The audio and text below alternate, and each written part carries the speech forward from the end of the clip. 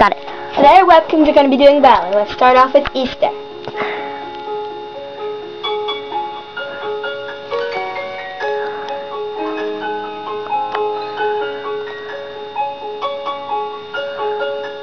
What are you doing? As you can see, it's moving its leg.